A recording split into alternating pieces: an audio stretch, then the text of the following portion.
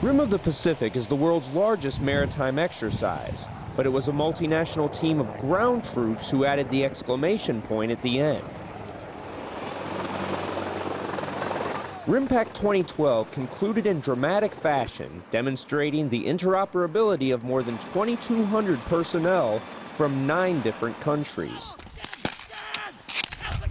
Starting aboard the USS Essex, some of the force made its way ashore in amphibious assault vehicles. Some flew in by helicopter. Eventually, they all were moving downrange to engage their targets. It's a very complex uh, thing to come from the sea and do whatever mission you've been assigned. Uh, everybody's come together very well to include our interaction with the U.S. Navy, and we really need that platform to be able to project uh, power ashore like you saw this morning.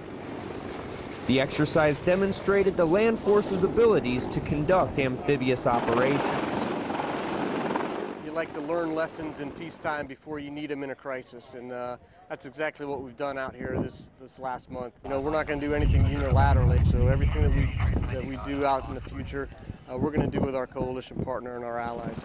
For Exercise Rim of the Pacific, I'm Corporal Ben Eberle.